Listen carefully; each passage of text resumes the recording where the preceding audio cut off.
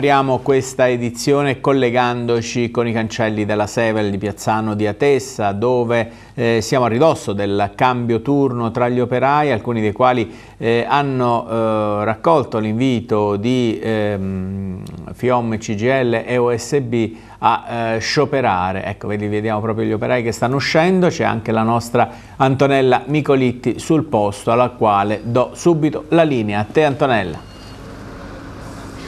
Bentrovati, sì, diciamo che stanno uscendo i lavoratori del turno mattutino e mentre è stato indetto dalla FIUM CGL uno sciopero di otto ore per il turno pomeridiano, qui vicino a me ho Alfredo Fegatelli che è appunto il segretario regionale Abruzzo e Molise della FIUM CGL hai detto bene tu, dopo le preoccupazioni per un eventuale stabilimento in Polonia, eventuale concorrenza al Ducato, ora ci si mette anche la Renault perché c'è questa proposta che ancora proposta è, lo sottolineerà anche Fegatelli, di fusione tra FCA e Renault con uh, un uh, camion, un camioncino, con un mezzo che potrebbe fare da concorrenza al Ducato. Questa è solo una delle motivazioni di questo sciopero, ma andiamo a parlare con Fegatelli.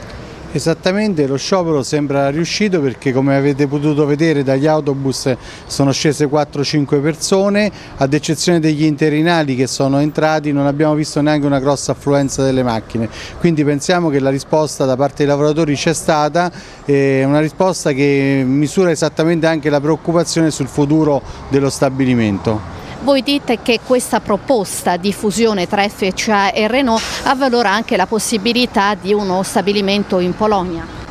Beh, eh, sicuramente PSA ha fatto una scelta eh, di andare in Polonia eh, per produrre 100.000 furgoni in più. Tra questi 100.000 furgoni c'è anche qualcosa del Ducato che viene prodotto, sicuramente la scelta di avviare una fusione tra Renault ed, ed FCA potrebbe aver indotto anche PSA a prendere delle iniziative come quella che sta prendendo in Polonia. Fegatelli, voi siete amareggiati perché avete detto dal governo nessuna risposta, li abbiamo chiamati più volte, ricordiamo che qui alla Sevel lavorano 6.400 dipendenti con un PIL del 10% per l'intera regione Abruzzo, amareggiati forse di più? Beh, più che amareggiati siamo abbastanza arrabbiati perché ovviamente stiamo vedendo sfumare un'altra azienda italiana che già ha portato la sua testa in America con la, la fusione con Chrysler, adesso sta facendo un'altra dove praticamente sta prendendo le redini perché prenderà le redini diciamo, un'azienda transalpina e quindi di conseguenza siamo preoccupati perché non conosciamo quali sono le reali strategie.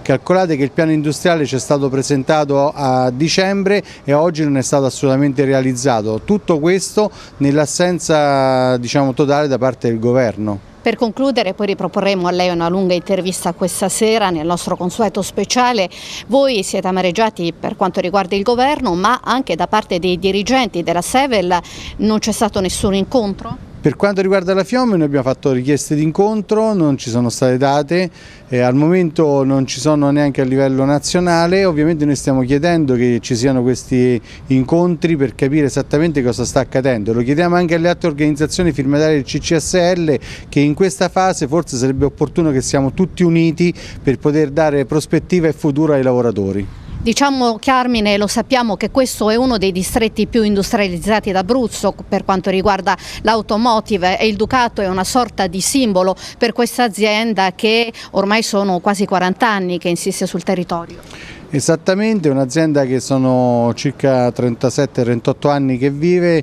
in questo territorio, un'azienda che ha prodotto, ha fatto dei record grazie al sacrificio dei lavoratori. Oggi ovviamente questi lavoratori si aspettano di capire se,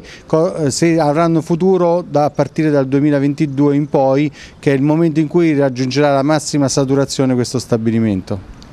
Non so Carmine se hai domande da studio. Guarda, una domanda l'avrei, e se loro non hanno un po' l'impressione che si stia un po' spremendo eh, questo stabilimento nella fase conclusiva eh, di, una, di, una, sua parabola, ecco, eh, questo diciamo, è, è, è, la preoccupazione maggiore anche rispetto al fatto che non si hanno notizie sviluppo, sullo sviluppo di nuovi modelli.